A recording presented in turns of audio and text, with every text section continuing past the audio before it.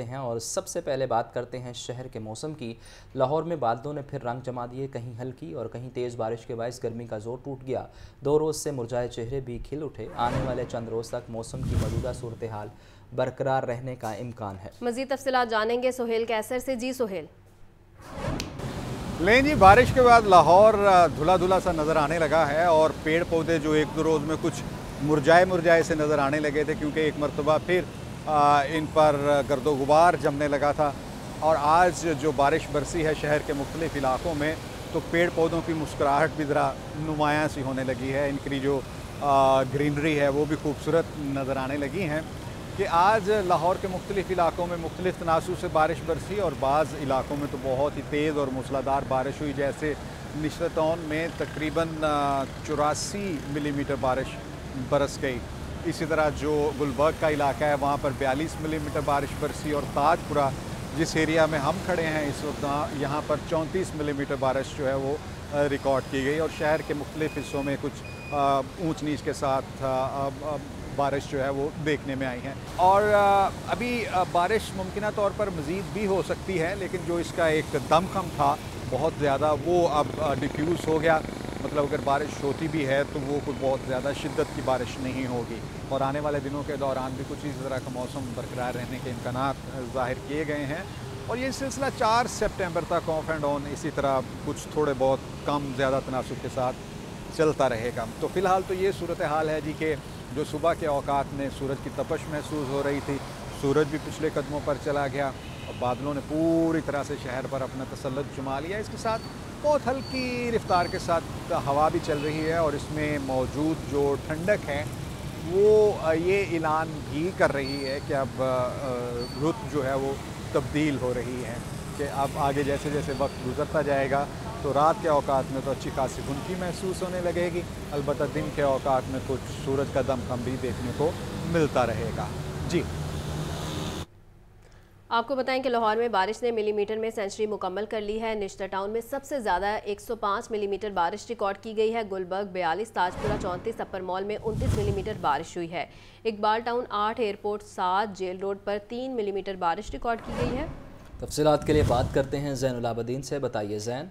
जैन से भी रबता बहाल करने की कोशिश करेंगे, आपको बता रहे हैं। लाहौर में बारिश ने मिलीमीटर में सेंचुरी मुकम्मल कर ली है। निश्तर टाउन में सबसे ज़्यादा 105 मिलीमीटर बारिश रिकॉर्ड की गई है। गुलबर्ग बयालीस, ताजपुरा चौंतीस, अपर मॉल में 29 मिलीमीटर बारिश रिकॉर्ड की गई है और इकबाल टाउन आठ, एयरपोर्ट सात, जेल रोड पर तीन मिलीमीटर बारिश रिकॉर्ड की गई है। निश्ता टाउन में सबसे ज़्यादा 105 मिलीमीटर बारिश रिकॉर्ड की गई है, जबकि गुलबर्ग बयालीस, ताजपुरा चौंतीस अपर मॉल में 29 मिलीमीटर बारिश हुई है। इकबाल टाउन आठ, एयरपोर्ट सात, जेल रोड पर तीन मिलीमीटर बारिश रिकॉर्ड की गई है। लाहौर में बारिश ने मिलीमीटर में सेंचुरी मुकम्मल कर ली है। निश्ता टाउन में सबसे ज़्यादा 105 मिलीमीटर बारिश रिकॉर्ड की गई है। मजीद तफसलात के लिए बात करेंगे जैनुल आबिदीन से। जी जैन।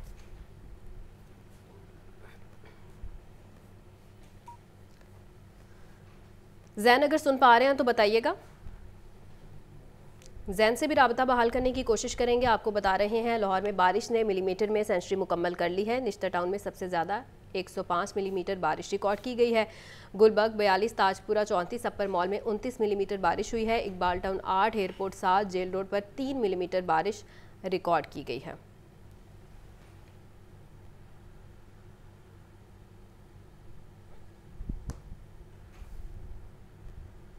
चाइना स्कीम का इलाका गंदगी और ताफुन का गढ़ बन गया। पार्क्स और ग्रीन बेल्ट पर गंदगी के ढेर, बदबूदार पानी से मुजी बीमारियाँ फैलने लगीं। इलाका मकीन बच्चों का इंतजामिया से पार्क्स में पूरी सफ़ाई कराने का मुतालबा। मजीद जानते हैं सामिया सईद से। जी सामिया। चाइना स्कीम के इलाके में मौजूद हूँ, जहाँ इंतज़ामिया की गफलत और नाअहली ने इस इलाके का मैार ज़िंदगी जो है गिरा कर रख दिया है। इलाके में हर जानब गंदगी, कूड़ा क्रिकेट के ढेर दिखाई देते हैं। मेरे कैमरामैन फैसल रहमान, अगर आपको मेरी दाई और बाई जानब दोनों जगह दिखा सके, सबसे पहले दाई जानब देखते हैं, ये ग्रीन बेल्ट एरिया है, जहाँ पर मुसलसल कई कई सालों से जो है पानी खड़ा ही रहता है, जिसमें मच्छर, मक्खियाँ भिन भिनाती रहती हैं। इसके अलावा अगर आप मेरी बाएँ जाने मेरे कैमरामैन फैसल रहमान आपको दिखा सके तो यहाँ पर कूड़ा क्रिकेट का ढेर है, लेकिन अलमिया ये है कि यहाँ पर जो बच्चों का प्ले ग्राउंड है, आप उसकी हालत भी मुलायजा फरमाएँ कि ये प्लेग्राउंड वैसे ही खाली पड़ा है, बंजर हो गया है, गंदगी और बदबू अलग है। यहाँ पे ना बच्चे खेलने आ सकते हैं, ना कोई राह गुज़र यहाँ से जो है अच्छे तरीके से गुज़र सकता है, क्योंकि बदबू इतनी ज़्यादा है कि मेरा यहाँ पे खड़ा होना जो है, वो मुहाल हो गया। इलाका मकीनों का भी यही कहना है कि उनका मैार ज़िंदगी इतना पस्त कर दिया गया है। यहाँ के पे कोई डेवलपमेंट कोई तरक्की का काम नज़र नहीं आता। बच्चे जो है प्ले तक में नहीं आ सकते। हमारे साथ इलाका मकीन मौजूद हैं, हम उनसे ही पूछते हैं, किन मुश्किल का सामना करना पड़ता है? जी। मैं तो मरियम नवाज़ से यही कहूँगा सी एम साहब से, कि यहाँ यहाँ के बच्चे भी हैं, जो भी है गंदगी के ढेर बहुत ज़्यादा लगे हुए हैं।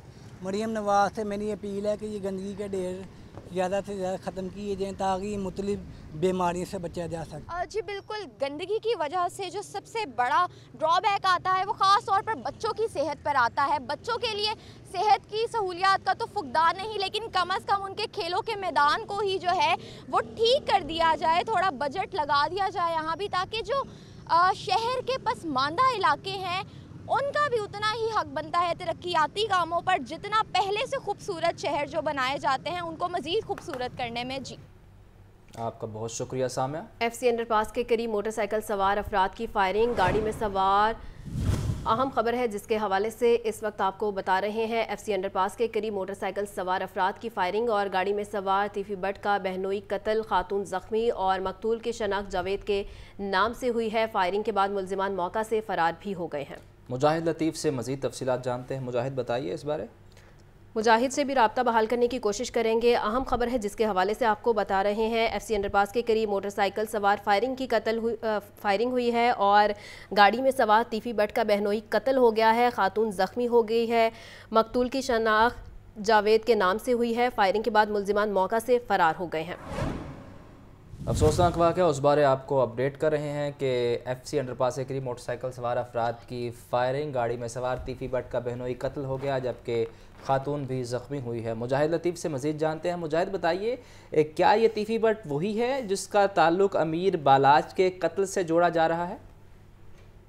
देखिए उसामा, जो अभी एक तकनीकी वारदात हुई है वो जो एफ़ सी कॉलेज का अंडर पास है, वहाँ पर उसमें जो फायरिंग के नतीजे में जहांबाग होने वाला शख्स जावेद भट्ट है उसके हवाले से ये बताया गया है कि अमीर बलाज कत्ल केस का मरकजी मुलजिम तीसरी भट्ट जो है उसका बेनोई है।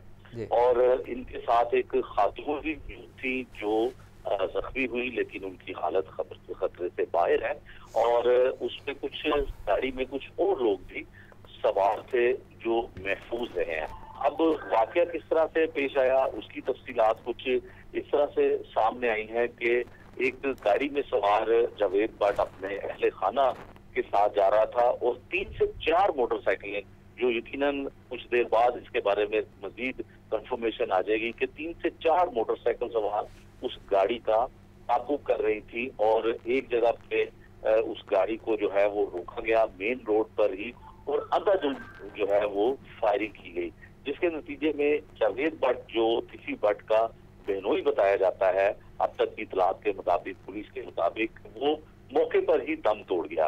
और आगे बैठी हुई सीट पर खातून जो है वो जख्मी हुई। उनको जो है वो फौरी तौर पर जख्मी हालत में अस्पताल मुंतकिल किया गया। लेकिन पीछे ये भी बताया जा रहा है पुलिस की जानब से कि कुछ लोग और भी सवार थे, लेकिन उनको कोई किसी किस्म का फायर नहीं लगा या वो जख्मी नहीं हुए।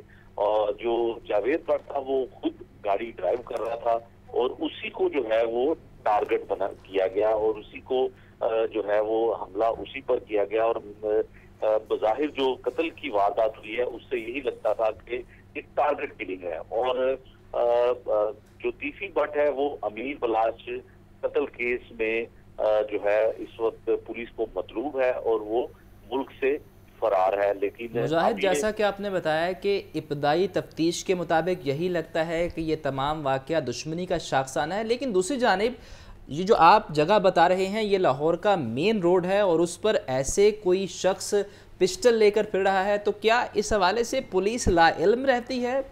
लॉ एंड ऑर्डर के हवाले से इकदाम क्यों नहीं किए जाते? देखिए उसामा अगर आप उस गाड़ी को देखें जो प्राडो की तर्ज पर है और जहाँ पर ये गाड़ी खड़ी है इस वक्त फुटेज में वाज तौर पर दिखाई देती है। उसके पास ambulance double one double two की गाड़ी भी आ चुकी है और एक खातून जो है उसमें उसकी बाजू पे जो है वो ब्लड लगा हुआ है और जख्मी हालत में खड़ी है और एक पुलिस एहलकार जो है गाड़ी के वारंट पर कागजात रखकर जो है उसकी तफसील लिख रहा है। तो ये बिल्कुल मेन इशारा है आपने दुरुस्त कहा कि ये मेन इशारा है जहाँ पर लॉ एंड ऑर्डर की सूरत हाल को भी चैलेंज किया गया है कि ऐसी इशारा जहाँ से आ, बहुत बड़े बड़े लोग जो हैं वो प्रोटोकॉल के साथ भी गुजरते हैं और जो वज़ीर पंजाब का हो या वज़ीर पाकिस्तान हो कोई भी रूट हो सिक्योर और सेफ्टी के लिए यही रूट दिया जाता है।